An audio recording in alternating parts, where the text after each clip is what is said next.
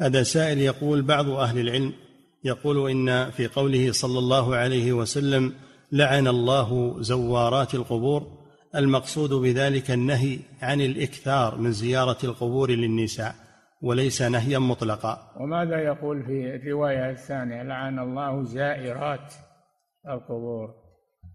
لا مردود عليه بالرواية الثانية اللي ما فيها تشديد. نعم.